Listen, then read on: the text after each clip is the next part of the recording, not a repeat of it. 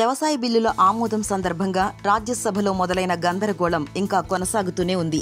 బిల్లులపై చర్చ సందర్భంగా అనుచితంగా ప్రవర్తించారని ఎనిమిది మంది సభ్యులపై సస్పెన్షన్ విధించిన సంగతి తెలిసిందే. సస్పెన్షన్కు గురైన ఎనిమిది మంది సభ్యులు రైతులకు మద్దతుగా ప్లకార్డులు ప్రదర్శిస్తూ పార్లమెంటు ఆవరణలోనే రాత్రిపూట కూడా నిరసన కొనసాగించారు. అయితే ఈ ఎంపీలను ఈ రోజు ఉదయం రాజ్యసభ డిప్యూటీ చైర్మన్ హరివంశ్ నారాయణ సింగ్ పరామర్శించారు. నిరసన తెలుపుతున్న ఎనిమిది మంది ఎంపీలకు డిప్యూటీ చైర్మన్ హరివంశ్ తేనీరు అందించారు. ఈ సందర్భంగా ఎంపీలతో మాట్లాడారు. ఎంపీలు బిల్లులకు వ్యతిరేకంగా నిరసన కొనసాగించడానికి నిర్ణయించుకున్నారు.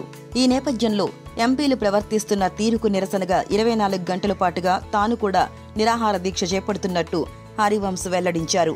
సభలో బయట చోటు చేసుకున్న పరిణామాలు తనను మానసిక వేదనకు గురిచేశాయని పేర్కొంటూ ఒకరోజు నిరాహార దీక్షకు డిప్యూటీ చైర్మన్ హరివంశ్ పూనుకున్నారు.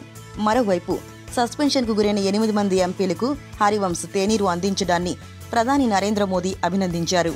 ఈ మేరకు ప్రధాని మోదీ ట్వీట్ చేశారు. హరివంశ్ ప్రవర్తన ప్రతి ప్రజాస్వామ్య ప్రేమికుడిని గర్వించేలా చేస్తుందని అన్నారు.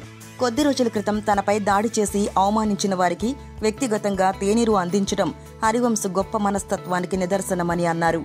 భారత ప్రజలతో కలిసి హరివంశ్ను అభినందిస్తున్నానని ప్రధాని మోదీ పేర్కొన్నారు.